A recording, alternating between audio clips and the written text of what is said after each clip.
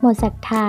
สาวกบุรีรัมย์เดือด บุกถามสโมสร ไหนบอกตูเญซจะกลับสเปนไงแฟนบอลบุรีรัมย์ยูไนเต็ดแสดงความไม่พอใจสโมสร ที่เคยบอกว่าอันเดรสตูเญซแยกทางกับทีม เพราะจะกลับไปเล่นลีกรองสเปน แต่กลับเปิดตัวซบบีจีปทุมยูไนเต็ดอย่างพลิกโผ เกิดกระแสดราม่าในหมู่แฟนบอลบุรีรัมย์ยูไนเต็ด หลังจากที่อดีตกองหลังขวัญใจของทีม อย่างอันเดรสตูเญซ เปิดตัวซบทีมคู่แข่ง ในไทยลีกอย่างบีจีปทุมยูไนเต็ด ก่อนหน้านี้ซ้อต่ายกรุณาชิดชอบบอสหญิงของปราสาทสายฟ้า เคยชี้แจงแฟนบอลถึงสาเหตุที่แยกทางกับอันเดรสตูเญซ เนื่องจากเป็นความต้องการของนักเตะเอง ที่อยากจะกลับไปค้าแข้งที่ลีกรองประเทศสเปน เพื่ออยู่ใกล้กับครอบครัว ซึ่งแฟนบอลก็เข้าใจเป็นอย่างดี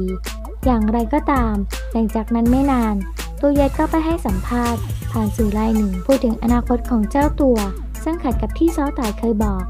โดยยืนยันว่าจะยังเล่นในอาเซียนต่อไปอีกอย่างน้อย 2 ปี และไม่มีแผนไปเล่นที่ยุโรปหรือลีกรองประเทศสเปนตอนนี้ และที่สำคัญ ตอนนี้ก็ยังอาศัยอยู่ในประเทศไทย ก่อนที่จะเปิดตัวโซปีจีปทุมยูไนเต็ดในที่สุด จากประเด็นดังกล่าวทำให้แฟนบอลหลายคน แสดงความไม่พอใจออกมา โดยไปแสดงความเห็นผ่านทางเพจอย่างเป็นทางการของสโมสร ในเชิงตำหนิที่ไม่ยอมบอกเหตุผลที่แท้จริง และเลือกโกหกแฟนบอลสำหรับอันเดสตูเยสปัจจุบันอายุ 33 ปี เคยค้าแข่งกับไทยลีกกับบุรีรัมย์ยูไนเต็ด2ช่วง เริ่มจากเล็ก2ปี 2014 ถึง 2016 และช่วงเล็ก2ปี 2017 ถึง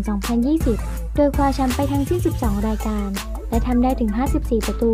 รวมทุกรายการ รั้งดาวยิงสูงสุดตลอดการอันดับ 3 ของทีม